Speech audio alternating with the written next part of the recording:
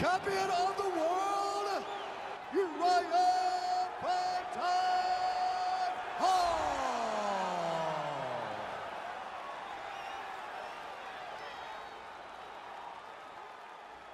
All right, this is for the UFC Championship. I want you to obey my commands at all times, protect yourself at all times. I want a nice, clean, safe fight. Touch gloves, back your corners, come out fighting.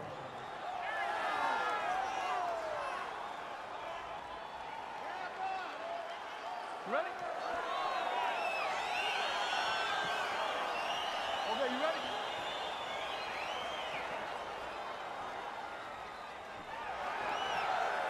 Well, this heavyweight title has changed hands quite a bit as we get round one underway of this championship fight, but not since this man has held it down. Tonight, looking to defend his title yet again. We'll see if he can keep that trend going here tonight. Nice looping punch. All right, here we go. Our first round is underway, and you know at some point he's going to try to get this fight to the canvas.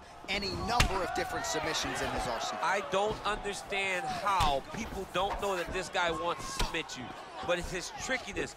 It's his ability to trick people into going to the floor with him that puts them in danger. Does he pull guard? Does he pretend that he got knocked down? We saw Werdum do it. Right. To Fedor, act like he got knocked down. Fedor jumps to his guard, gets a submission.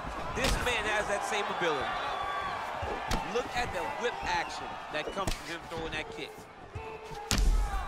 Looks like his leg is hurt here. You can even see him limping a little bit. Oh, he hurt. Well, he's up, but oh, is he hurt.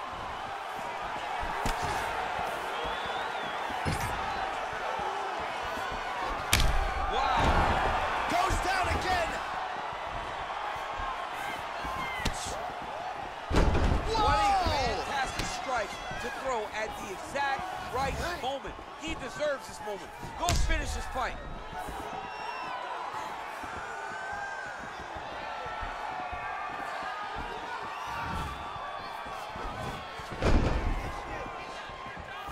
Trying to kick the leg out. Oh, and that one snapped the head back. The referee has seen enough. Winner by. TKO. He mercifully stopped the fight.